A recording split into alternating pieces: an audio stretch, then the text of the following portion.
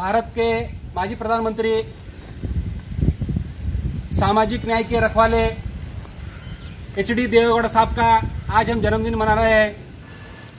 देवेगौड़ा साहब ने हमको मैसेज दिया है कि ये बर्थडे कोई भी केक न काटते हुए जो हेल्थ वर्कर्स है फ्रंट लाइन वर्कर्स है, कोरोना वॉरियर्स है, उनको जाके मनोबल बढ़ाने का काम करना, इसके लिए आज सीएमसी के परमिशन से। और आप सब लोगों के बीच हम आए हैं।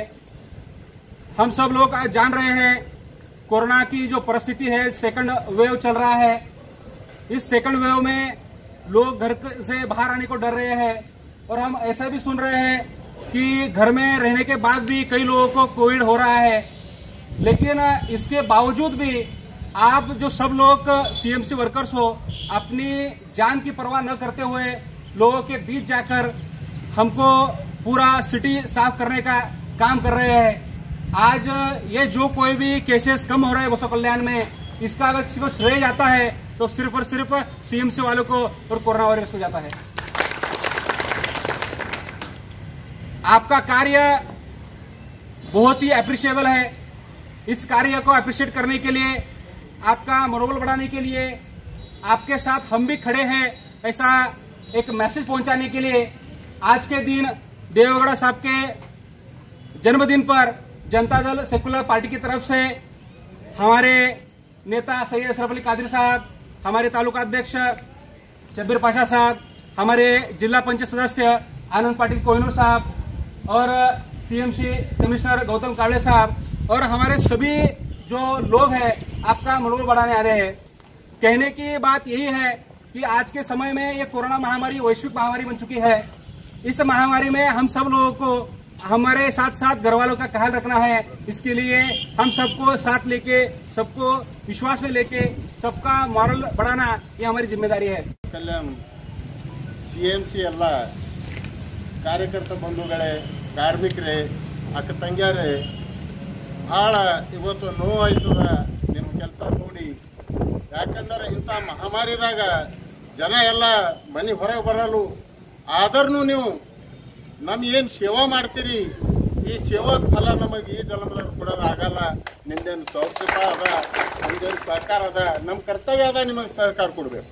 ಹಾಗೆ ಗಾಡಿಯನ್ಸ್ ಇತ್ತು ಇವತ್ತಿನ ದಿನ ಹದಿನೆಂಟನೇ ತಾರೀಕು ಎಚ್ ಡಿ ದೇವೇಗೌಡ ಸಾಹೇಬರು, ಮಾಜಿ ಪ್ರಧಾನಿ ದೇಶದು ಹನ್ ಹನ್ನೊಂದನೇ ಪ್ರಧಾನಮಂತ್ರಿ, ಹನ್ನೊಂದು ತಿಂಗಳೇ ಇದ್ದರು ಈ ಕರ್ನಾಟಕ ಪ್ರಧಾನಮಂತ್ರಿಗಳು. ಗರೀಬರ ಸಲಹೆಗೆ ಏನೇನು ಮಾಡ್ಯಾರ ಅವರು ನಿಮಗೆ ಗೊತ್ತದ. ಅವ್ರ ಕಾಲ ಹ್ಯಾಂಗಿತ್ತು, ಈಗಿನ ಕಾಲ ಹ್ಯಾಂಗದ. ಎಚ್ ಡಿ ದೇವೇಗೌಡ ಸಾಹೇಬರು ಹೆಣ್ಣು ಮಕ್ಕಳಿಗೆ ಮೂವತ್ತ್ಮೂರು ಪರ್ಸೆಂಟೇಜ್ ಕೊಟ್ಟಿದವರು ಒಂದೇ ಒಂದು ಪ್ರಧಾನಮಂತ್ರಿ, ಎಚ್ ಡಿ ದೇವೇಗೌಡ ಸಾಹೇಬರು. ಮಣ್ಣಿನ ಮಗ ಅಂದ್ರೂ ಕಡಿಮೆ ಇಲ್ಲ.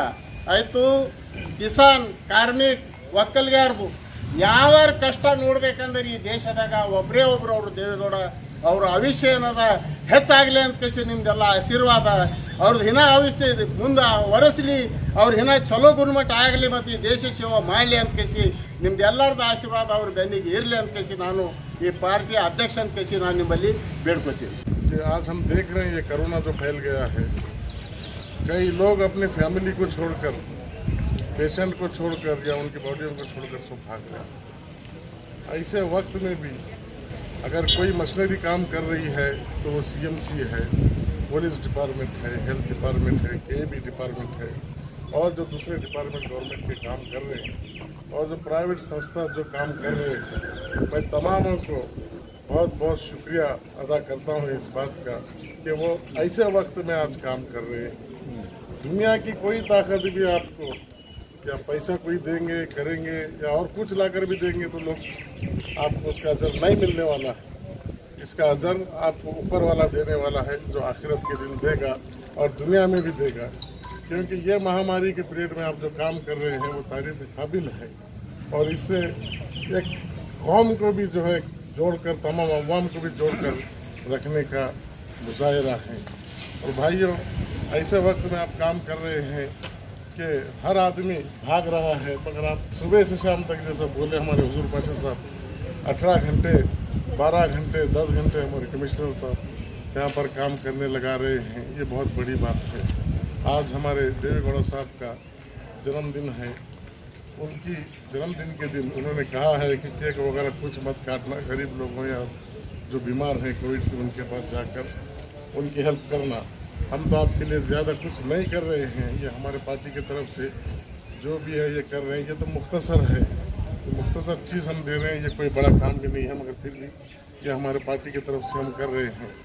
इसके बाद में मैं हमारे गौतम कामरे साहब का, हमारे पार्टी के लोगों का, और आप तमामों से भी एक अपील करता हूँ कि देवी गौड़ा साहब के लिए आप दुआ कीजिए कि उनकी उम्र दराजी के लिए, सेहत के लिए